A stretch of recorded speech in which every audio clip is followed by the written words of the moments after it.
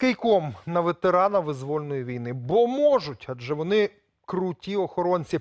У Дніпрі чоловік зробив зауваження двом недоумкам з приватної охоронної фірми і попросив, аби вони прибрали свою робочу і розтяцьковану автівку з газона у парку. Запаркували транспорт, браві охоронці просто на траві, а самі усілися в салоні вечеряти, чим Бог послав. Переповідати увесь набір лексичних форм, якими нагородили охоронці ветерана, не будемо, аби у вас не зіпсувалось враження. Все це краще побачити на власні очі.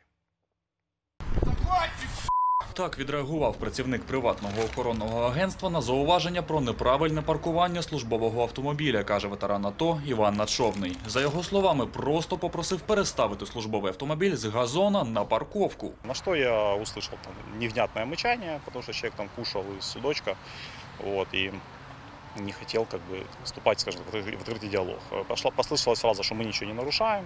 Я сказал, что я буду вынужден вызвать наряд патрульной полиции. Атовець почав знімати на телефон машину та номерний знак. Каже, коли ж попередив, що надійшло відео керівництву охоронної фірми, чоловік щодо цього обідав, вихопив гумовий кийок та кинувся на нього. Попри бойовий досвід на сході, вирішив не лізти в бійку, а втекти. Я принимаю решение не вступать в открытый, скажем так, боестолкновение, да, в конфликт, а попытаться все-таки вызвать полицию, да, и оставить жалобу об их противоправных действиях. Естественно, я как бы был возмутил, возмутил их этими действиями. Я сложил телефон в карман и легкой трусой начал разминать людей, что они засиделись в машине, как бы просто вот э, вдоль дороги, да, там мы пробежали метров 60, э, человек выдохся, Іван викликав копів. Поліцейські зупинили конфлікт, але за словами атовця, навіть не перевірили документи у приватних охоронців. Більше того, і протокол за неправильне паркування не виписали, а просто відпустили. Аби отримати пояснення, надіслала запит до управління патрульної поліції Дніпра. Наступного ранку і керівник фірми, і сам охоронець вибачилися перед ветераном АТО. Але нам в інтерв'ю охоронець повідомив, що закону не порушував. Конфлікт виник через зйомку на телефон. знаков там запрещающих, э, ну, зеленая зона там или запрещающих каких-то въезд там, выезд нету. Он спросил там разрешение на съемку, мы ему не разрешили. Слово за слово, то есть как бы человек продолжал. Ну, мне показалось это провокация. Натомість в головному офісі компанії в Києві пообіцяли провести службове розслідування.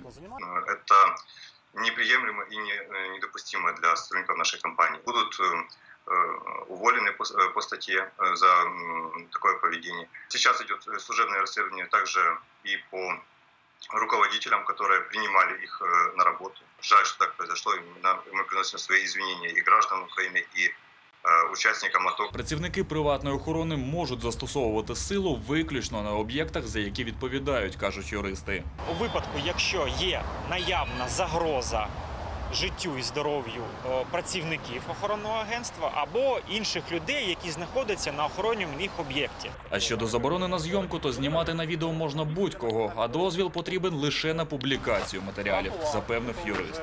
Антон Мачула, Марія Моганісян, Влад Комишин. Дніпро. Спецкор 2+,2.